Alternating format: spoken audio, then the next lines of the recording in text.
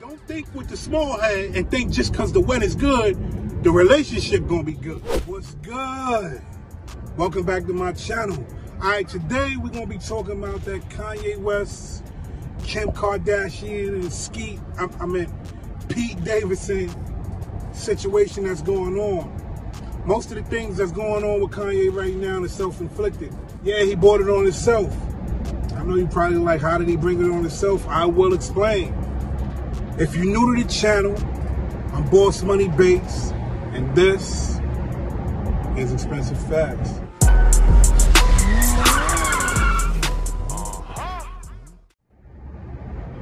First and foremost, if it's your first time on the channel, hit that subscribe button and click that bell to turn on the notifications. You do not want to miss this content. Royal family, I hope you're on your purpose. I hope your purpose is magnifying your gifts. Let's do it like this. A lot of people say Kanye crazy. I don't think he crazy at all. Everybody living got something going on inside their brain. Something is a little bit off with every last one of us. I honestly think he a genius. I mean, he worked for Billy. you not work for Billy. I ain't work for Billy. So he ain't that crazy. Enough with that. Let's get into these expensive facts. The reason I say that all of these things that's happening to Ye right now is self-inflicted is number one, I start off with this. When Kanye and Kim was married, Kanye spent way too much time with his wife. Now, I know you're saying that's the object. You're supposed to get money and you're supposed to be able to spend time with your family. Nah, there's nothing wrong with that. Nothing wrong with that at all. And I'm not saying that that's the problem. But he spent way too much time and dedicated way too much time to his wife. Now, he was on his purpose.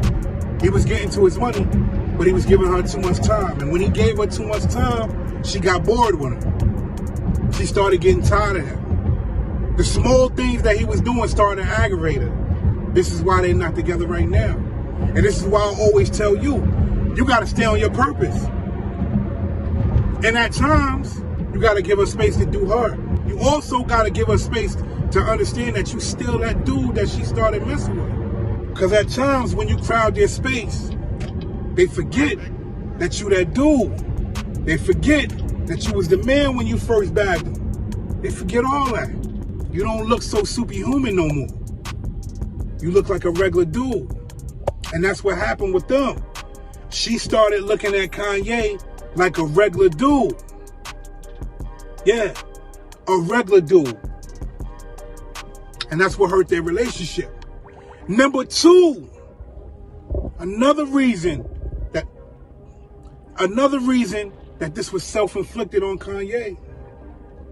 You are never supposed to have your girl, your wife, your woman chilling around your peoples. Him and Skeet was peoples. You got pictures with him, Skeet, and Kim chilling.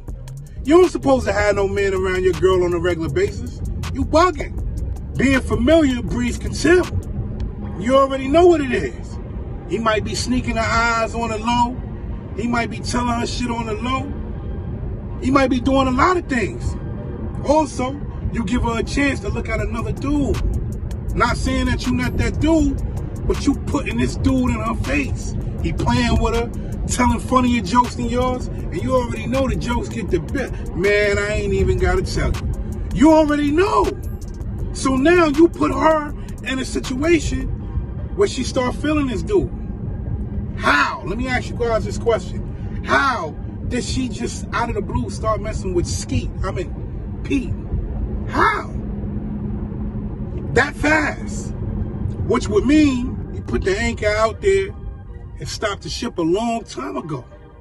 You just don't know that. She just randomly started messing with Pete. That's not random. That's not Kim. And that's not how that happens. And I'm telling you, fellas, I'm not telling you to be over, overprotective. I'm telling you to pay attention. You cannot have your girl around your man on a regular basis. Your girl and your homeboys are not supposed to be socializing. Your people are not supposed to be able to come over the house and be like, yo, I'm gonna just chill here till you get back and, uh, you know, hooking you good steak up or something. What? You bugging out. Now let's get to the expensive facts. Another reason why this is his fault, because he allowed this to go on. Also, we already know he has mental health issues. Him being out in the public, him letting people know his business. This is another thing, fellas. When you dealing with your woman, you got to deal with your woman. It ain't nobody business but you and your woman. Not your homeboy business, not her homegirl business, because this is when things start to happen. When you give people the power to have conversations about your relationship, you also give them the power to change your girl mind. Or she gives them the power to change your mind. My mom's always used to say, what happens in my house stays in my house. Meaning, whatever goes on around here, nobody don't need to know but us. And that's another thing. He talking too much on the internet. He letting people know too much on the internet. He's giving too much opportunity for people to contact, communicate, and say things about his relationship. Been doing this for a little while now. And now it came back to bite him in the ass. But as far as his kid goes, this is where I agree with him. Not 100% on how he's moving, but I agree that he needs to be a father in his kid's life. I also agree that he should have say in his kid's life. You know, fellas, when you're in a relationship with a female and you guys have kids, sometimes what hurts the relationship with your kids is the relationship you have with your kid's mom or ladies with your kid's dad. But honestly and truly, any relationship or any dealings you have should only be about the kid anyway. When a father says he doesn't appreciate his kid doing something, mothers, you should say, you know what? You're absolutely right. I can see where you're coming from. I'm going to work on that. And you see what Kim is doing, antagonizing him, letting his daughter be on TikTok. And he already said he doesn't want his daughter on TikTok. If I don't want my kids on TikTok, we have to come to that agreement. I don't want them on TikTok. That's what's going on. And that's the bottom line. Because Stone Cold says so. But she's antagonizing him. And this is what a lot of women do to a lot of men. They play games with their kids. Because guess what? You're not in my life no more. Now I can play with you.